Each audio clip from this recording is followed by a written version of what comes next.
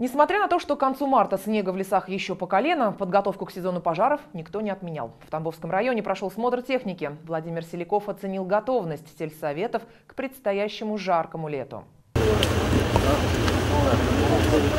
К новому сезону специализированная пожарно-спасательная часть номер один готова как никогда. В декабре прошлого года ее автопарк пополнился новым современным вездеходом.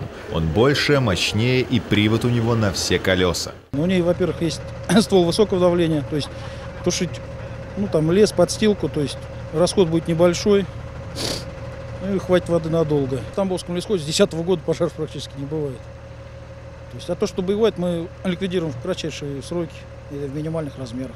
Многие пожары не обходятся без пострадавших. Впрочем, по мнению фельдшера Александра Прохожего, люди стали более осмотрительно вести себя в лесу, и бесконтрольных поджогов стало меньше.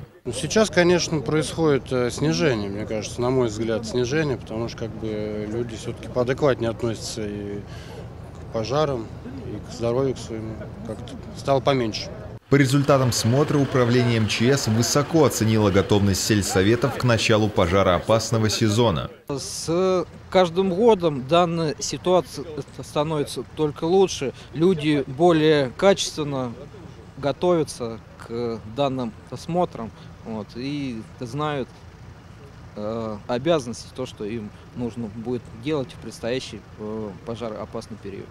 Уже скоро на борьбу с лесными пожарами выйдут более 230 единиц техники разного назначения. Пять сельсоветов Тамбовского района привлекут на тушение пожаров более 600 человек личного состава. С 2010 года в Тамбовском районе больших пожаров не было. Несмотря на это, готовым к ним надо быть всегда.